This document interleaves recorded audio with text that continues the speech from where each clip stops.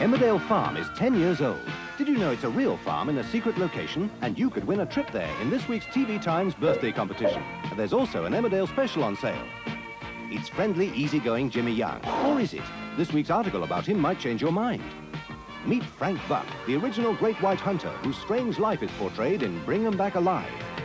There's so much more than TV Times in TV Times Magazine.